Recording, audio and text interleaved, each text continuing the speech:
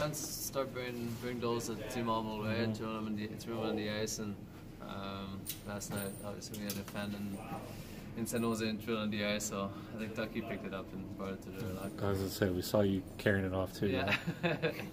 It's nice pet. You know, it doesn't bark too loud or it's easy to take care of. I'll keep around. Keep around for a while.